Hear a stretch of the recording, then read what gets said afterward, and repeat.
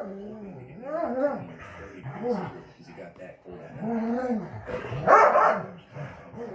So we end up getting a It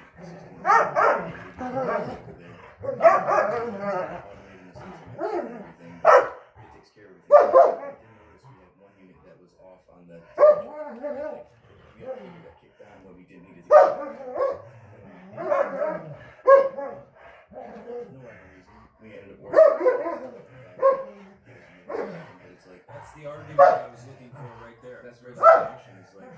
One. and it was failure?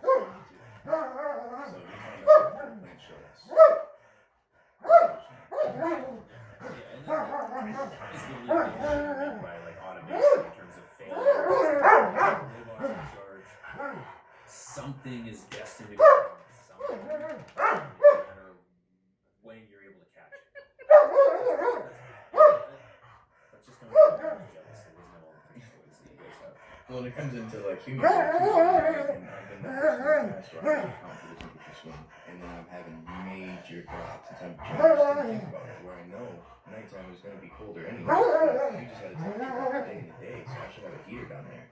You know, and it's only like a day, but I should just- So that new grow great because I got it set for certain for everything that I need, and it's gonna just go off based on like, the changes. It's gonna stay at this point based on my. So you gotta it's gonna cost more money overall, you know, down the road. But if you get more quality equipment early on, you get things to automate it. It will be a lot more affordable in your pocket down the road. It's not gonna be immediately. Some of this stuff is pretty pricey, and that's